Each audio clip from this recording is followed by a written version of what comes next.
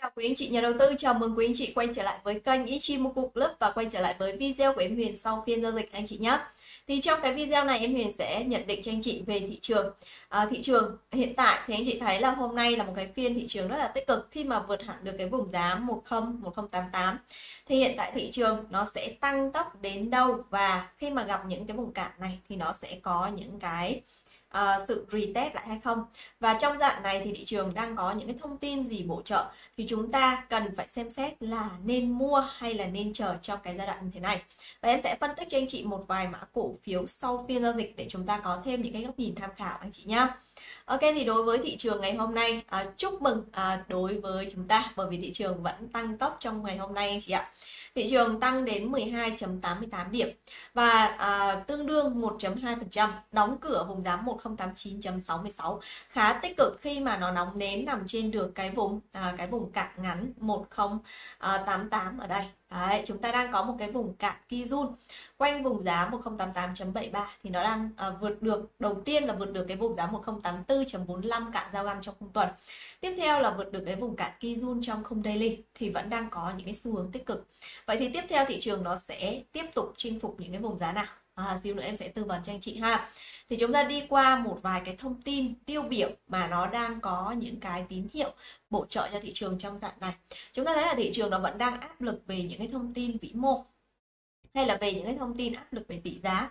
Thế anh chị thấy là uh, trong cái buổi livestream sáng nay hay là kể cả cái video cuối tuần thì em cũng có chia sẻ cho anh chị đó là DXY khả năng đã tạo đỉnh và đang có những cái tín hiệu điều chỉnh đúng không? Thì nó sẽ làm giảm cái áp lực của tỷ giá. Thì uh, hôm nay anh chị thấy là tỷ giá cũng đang cũng đang điều chỉnh xuống cũng đang hạ nhiệt. Thì đây cũng là một cái tín hiệu tích cực anh chị nha. Chúng ta thấy là thời gian vừa qua ngân hàng nhà nước họ hút tiền ra để mà phát hành cái tín phiếu để hạ nhiệt cái vấn đề tỷ giá này.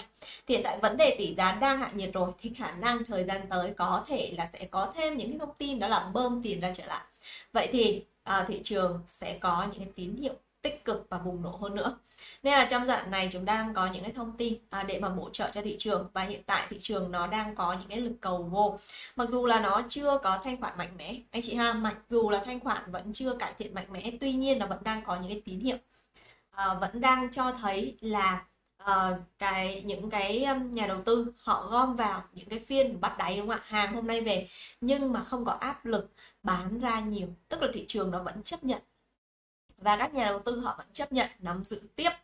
Đấy thì cho thấy đó là khả năng thị trường nó vẫn sẽ có thể tăng tiếp vào phiên ngày mai.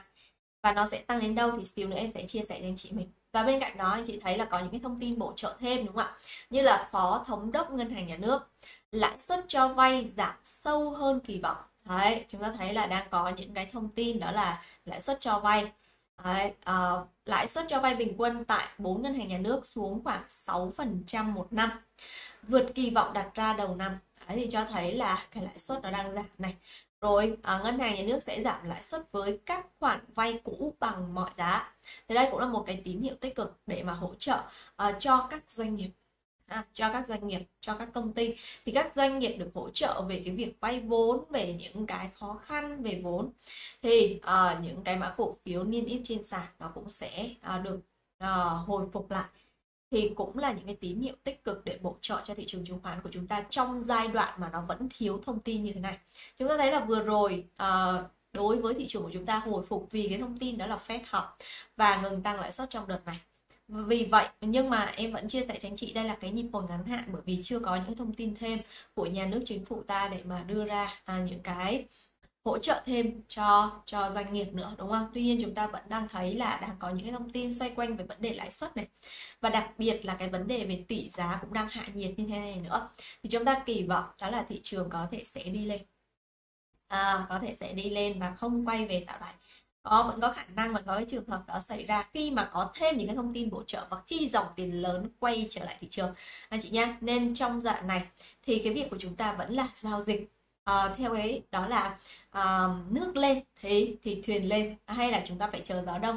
Tức là khi mà chúng ta vẫn trong đoạn này vẫn là đang đang uh, chưa có những cái thông tin gọi là nổi bật lắm để mà hỗ trợ hay là chưa có cái dòng tiền quay trở lại thì chúng ta cứ giao dịch là phòng thủ. Uh, chúng ta chưa có FOMO ha nhưng chúng ta sẽ nhặt nhạnh những cái phiên nó retest. À, trong phiên nó vẫn có những cái nhịp retest đúng không anh chị?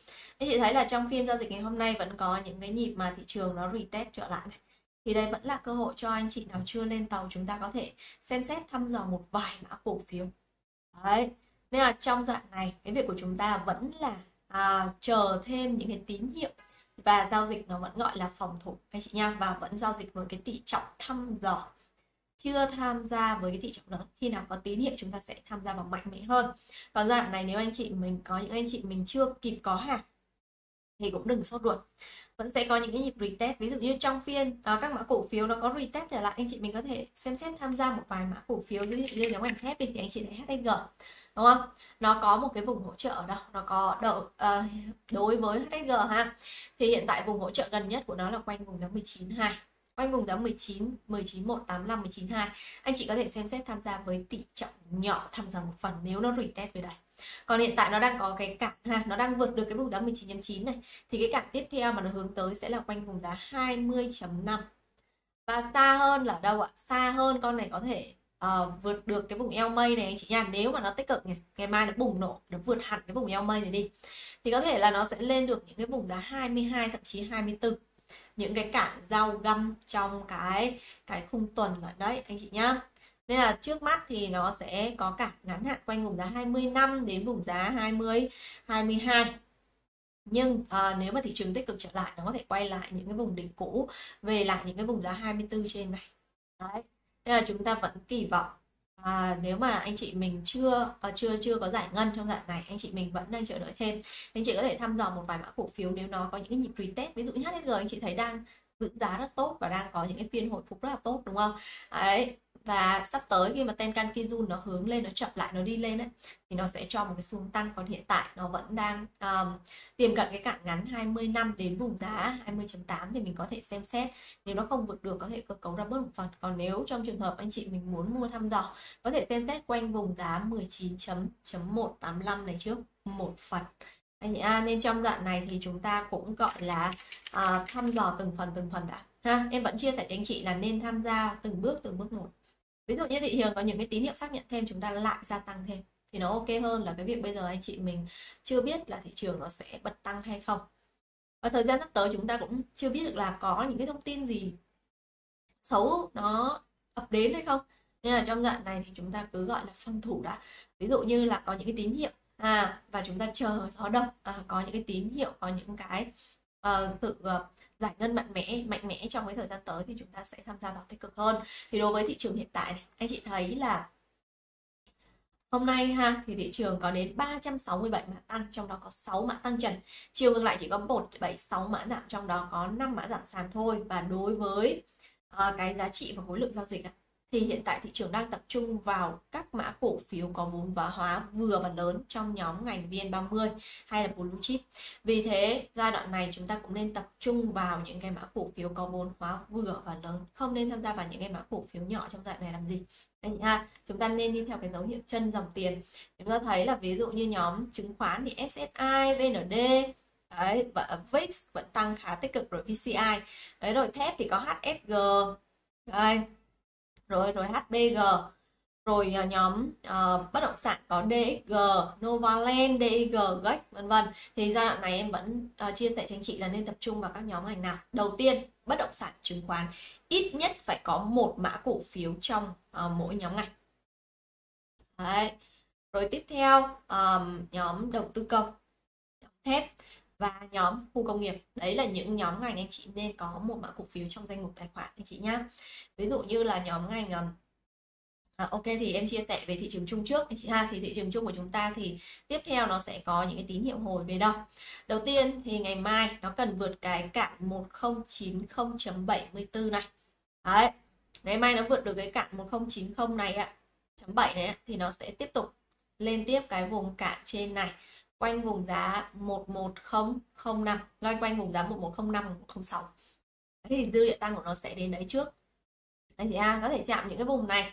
Anh chị thấy là rất nhiều phiên có những cái cây nến ở đây thì chúng ta thấy là có sẽ có những cái áp lực tiếp tục. Nếu mà à, tiếp tục tăng lên à, chạm những cái vùng này nó có những cái nhịp retest trở lại thì lúc đấy chúng ta có thể tham gia à, một phần. Hoặc là gia tăng hoặc là một mua mới một vài mã cổ phiếu nó có nhịp retest anh chị nha còn đối với thị trường hiện tại thì đối với uh, những cái thông tin bổ trợ thêm hay là về cái áp lực tỷ giá nó đang hạ nhiệt như thế này thì em đánh giá là khả năng thị trường vẫn sẽ có những cái nhịp tăng uh, trong ngày mai. Thì anh chị thấy là đối với ngày hôm nay chúng ta thấy là cái cái khách sạn ha ở khi mà thị trường tiếp tục bật tăng như này thì khách sạn sẽ bị phá vỡ. Vì thế có khả năng nó sẽ bật tăng tiếp. Thì có hai kịch bản kịch bản thứ nhất là nó bật tăng tiếp lên nó chạm những cái vùng cản ở trên quanh những cái vùng giá 10 uh, 1104 1106 rồi nó bị retest trở lại.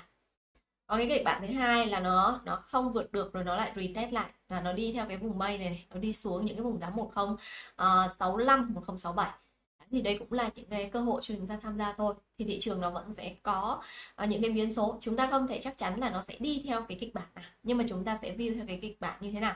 Nó đi lên thì chúng ta sẽ xem xét uh, có thể cơ cấu bớt một phần nào đó còn nó đi xuống thì chúng ta sẽ có thêm những cái cơ hội để gia tăng hoặc là mở vùng mới anh chị mình lưu ý cho em như vậy trong giai đoạn này như này anh chị ha thì chúng ta sẽ xem xét một vài mã cổ phiếu này Ok, đối với nhóm ngành đầu tiên chúng ta cần lưu ý đó là chứng khoán đúng không? Anh chị thấy SSI trong phiên giao dịch ngày hôm nay cũng khá tích cực khi mà vượt được cái cản ngắn 28.9 ở đây. Thì SSI thì nó sẽ có cản tiếp theo tại vùng giá 29.85 đến vùng giá 31.3. Anh chị nào có hàng thì lưu ý vùng cản đấy. Còn nếu anh chị muốn mở mua thì ít nhất là quanh vùng giá 286 chúng ta có thể gọi là mua bắt test lấy vị thế hàng có sẵn.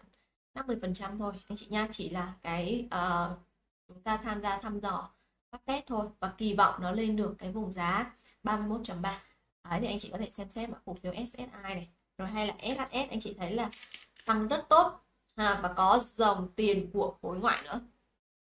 Tuy nhiên mã cổ phiếu này nó tăng tiếp thì nó sẽ có cản ngay vùng giá 16.45 một cái cản giao găm cứng trong khung ngày. Và đây là cái cản Kijun Tenkan chập lại trong khung tuần nên là vẫn sẽ có một cái áp lực này. Nếu mà nó vượt được cái vùng giá 1645 ấy, thì nó sẽ có cản tiếp theo tại vùng giá 10 17.3 trên này nữa. Cái cản giao găm trong khung tuần anh chị nhá. Nên đối với SHS thì anh chị mình không nên mua đuổi. nếu mà có hàng thì lên lưu ý những cái vùng vùng giá kháng cự này thôi còn nếu mà mình muốn mua thì ít nhất nó retest lại quanh vùng giá 15.5 anh chị nhá đối với SHS đấy. Rồi các mã cổ phiếu như VX hiện tại đối với VX thì anh chị có thể tham khảo vùng giá quanh, loanh quanh vùng giá 13.55 13.55 13.6 đấy. Thì có thể tham gia với cái tỷ trọng nhỏ thăm dò trước một phần. Rồi khi nó vượt hạn được cái vùng giá 14 chúng ta có thể gia tăng thêm kỳ vọng nó lên được vùng giá 16.3 hiện tại là có hàng tiếp tục nắm giữ được anh chị ha đối với mã cổ phiếu VX này. Hay là VND đi thì VND là một cái mã cổ phiếu mà em đã cho anh chị tham gia cái phiên à, nó ở quanh quanh cái vùng giá 17 này 17.5 à, này đúng không ạ? À, Đấy. Hiện tại đối với VND thì target ngắn hạn của nó là vùng giá 192, Vượt được vùng giá 192 này. Chúng ta thấy đây là một cái cản khi run ngắn um, gãy ha Thì có thể là nó sẽ vượt được cái cản này. Để mà đi lên tiếp những cái vùng giá 20.2 thậm chí là 20.95 mã cổ phiếu VND anh chị nhá. Còn đối với nhóm ngành bất động sản đi thì chúng ta thấy DSG cũng là một cái mã cổ phiếu mà em cho anh chị tham gia. Và hiện tại nó đang vượt được cái vùng giá 18.2 này. Thì target tiếp theo nó tìm đến là vùng giá 19.25 còn điểm để mà tham gia ấy, thì ít nhất là quanh cái vùng giá uh, ví dụ như 18.2 này anh chị tham gia gọi là bắt test với tỷ trọng nhỏ thôi. Kỳ vọng nó lên cái vùng giá 19.25 anh chị nhá. còn cái điểm mua đẹp của nó là phải quanh quanh vùng giá 17 này. 17 16.95 17.x dưới này thì chúng ta mới có điểm tham gia đẹp đối với DG hay kể cả đối với DG cũng vậy cũng đang tăng rất tốt. Tuy nhiên nếu muốn mua thì ít nhất là quanh vùng giá 21.6 ở đây. 21 đến 21.6 thì mới có điểm mua anh chị nha. Còn hiện tại nó đang khá lưng chừng. Kéo lên thì nó sẽ có cạn quanh vùng giá 23 đến vùng giá 24 anh chị nha, đối với DG có hàng lưu ý những vùng cạn đấy.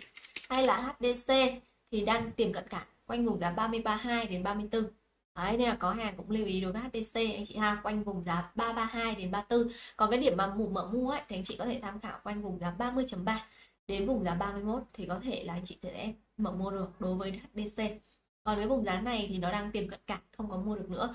Hay là trong trường hợp thị trường tích cực đi nó vượt hẳn được cái vùng giá 34 cân bằng tích lũy nó thoát khỏi cái nhịp. Nếu mà nó vượt được 34 anh chị ha thì nó sẽ là thoát khỏi cái cái xu hướng giảm và quay trở lại xu hướng tăng.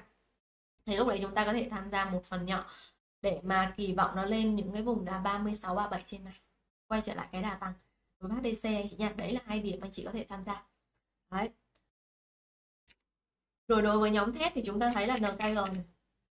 anh chị thấy NKG và tăng tiếp thì nó sẽ có cạn ngay cái vùng giá 20.3 và 20.3 rất nhiều phiên nha. Nó vượt cái 20.3 này thì nó sẽ lại có cản ngay cái vùng giá 27 đấy thì với NKG anh chị mình xem xét quanh vùng giá 20 23 đến 27 còn cái điểm mua anh chị ít nhất là quanh vùng giá 19 có thể mua bắt test thôi. Nha quanh vùng giá 19 này anh chị có thể mua bắt test thôi. Còn đẹp nhất là quanh vùng giá 18 chấm chấm tư dưới này đối với NKG đó, còn mã cổ phiếu HBG thì đang tiềm cận cản cái vùng giá 26 là cản của nó này. Nếu vượt hẳn được 26 đi thì nó sẽ có cản quanh vùng giá 20 26 năm đến 26 7 là cản tiếp theo. Mà HBG cần tìm đến anh chị nha. Còn nếu mà muốn mở mua thì ít nhất là quanh vùng giá 25.1 đây là để mua bắt test, mua lấy vị thế hàng có sẵn thôi. Còn cái vùng giá mua đẹp của nó là quanh những cái vùng giá 24.25 dưới này rồi. Đối với HBG anh chị ha. Rồi nhóm ngành đầu tư công thì chúng ta có như VCG cũng đang bật tăng khá tốt, đúng không? Thì VCG đây thì anh chị thấy là đang tìm cận cái cạn quanh vùng giá 22.45 đến vùng giá 23.5 đấy 225 235 là những vùng mà anh chị nên xem xét đối với VCG nếu đang có hàng còn cái việc mở mua nha ít nhất là quanh vùng giá 21.3 đây chỉ là một cái điểm mua bắt test. Còn cái điểm mua đẹp của nó là tận cái vùng giá 19.8, 20 dưới này này anh chị nha. Đối với VCG ha với HV cũng vậy. HV thì anh chị thấy cũng đang tìm cận cản vùng giá bao nhiêu? 15 đến 15 năm. Nếu muốn mua HV thì ít nhất quanh loanh quanh vùng giá 14 Đấy, ít nhất là loanh quanh vùng giá 10 13.9 uh, 14 thì mới có điểm để tham gia đối với HHV thì trong cái video này em Huyền phân tích cho anh chị về thị trường về các mã cổ phiếu như vậy. Để mà chúng ta có thêm những cái góc nhìn tham khảo. Trong giai đoạn này chúng ta vẫn à, đi theo cái chiến lược đó là nước chiều nào thì à, theo chiều đấy. Đó là à, gió sorry gió chiều nào theo chiều đấy tức là thị trường nó có mặt tăng tiếp. Thì chúng ta vẫn sẽ có uh, cái xu hướng đó là cơ cấu ra bớt một phần đã. Sau đó nó có retest lại chúng ta sẽ tham gia anh chị nhá. Nên trong đoạn này chúng ta vẫn cần thêm những cái thông tin xác nhận. Có thể anh chị mình đang cầm phun tiền anh chị có thể thăm dò một vài mã cổ phiếu. Nó có những cái vùng hỗ trợ ngắn hạn anh chị có thể thăm dò bắt test. Ha còn cái việc mà mở mua on in quá nhiều thì em uh, khuyến nghị cho anh chị là nên từ đã. Khi mà nó có những cái tín hiệu nó có những cái dòng tiền mạnh mẽ quay trở lại lúc đấy chúng ta sẽ tham gia với tỷ trọng lớn hơn. Anh chị ha. Ok à, thì trong cái video này em Huyền đã chia sẻ cho anh chị những cái à, xu hướng thị trường hay là à, những cái mã cổ phiếu sau phiên để mà anh chị mình có thêm những cái nhận định có thêm những cái góc nhìn và có thêm những cái uh, target ngắn hạn để mình chủ động uh, hành động kịp thời trong cái giai đoạn như thế này anh chị nha nếu anh chị mình chưa có người hỗ trợ đồng hành thì liên hệ ngay với em theo cái số điện thoại trên màn hình. Chỉ cần anh chị có tài khoản tại công ty chứng khoán VBS thôi có tài khoản rồi thì chỉ cần chuyển ID về em là được chuyển ngay trên app Smart One anh chị nha à, còn nếu anh chị chưa có tài khoản thì mở mới một cái tài khoản trong dạng này rất là à, nhanh tầm 3 đến 5 phút thôi hoàn toàn online hết và à, lại còn được miễn phí phí giao dịch trong vòng 6 tháng nữa anh chị ạ. Đấy, thì chỉ cần mình có tài khoản tại VBS gắn ID của em Huyền và giao dịch trên cái tài khoản đó thôi thì anh chị sẽ được vào những cái room tín hiệu VIP của câu lạc bộ ITB và room tín hiệu VIP của riêng cá nhân em Huyền nữa nhá. À, còn đối với anh chị nào mình có những cái trường hợp là mình chưa thể thể về được thì em vẫn có cái hình thức thu phí để vào room VIP nếu anh chị mình cần tư vấn thì có thể liên hệ ngay với em theo số điện thoại trên màn hình. Và bên phần khung chat em có để lại room Zalo mở. Nếu anh chị nào mình chưa đăng ký thì mình hãy đăng ký vào để mà em có thể cùng anh chị uh, giao lưu trao đổi anh chị nha. Mình cần tư vấn hỗ trợ gì thì em có thể chat trong room ha. Uh, ok. Thì em Huyền xin được hẹn gặp lại với anh chị vào cái buổi livestream ngày mai 8 giờ 15 phút hàng ngày từ thứ hai đến thứ sáu anh chị nhé. À, ờ, chúc quý anh chị mình có một buổi chiều vui vẻ an lành ấm áp bên gia đình và người thân ha cố gắng trong dạng này. Uh, view theo thị trường bám sát thị trường để chúng ta có thêm những cái hành động phù hợp kịp thời anh chị nha. Cần tư vấn hỗ trợ gì thêm cứ liên hệ với em Huyền ạ. Đừng quên nhấn like follow kênh và thả cho em Huyền những trái tim màu tím ở phần comment anh chị nha. Cảm ơn quý chị mình rất nhiều. Bye bye xin chào và hẹn gặp lại.